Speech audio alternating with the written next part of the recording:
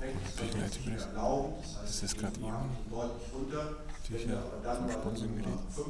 Durch die Abschaltung der Atomkraftwerke. Das ist jetzt wahrscheinlich das Sponsoring auch weniger werden. Dann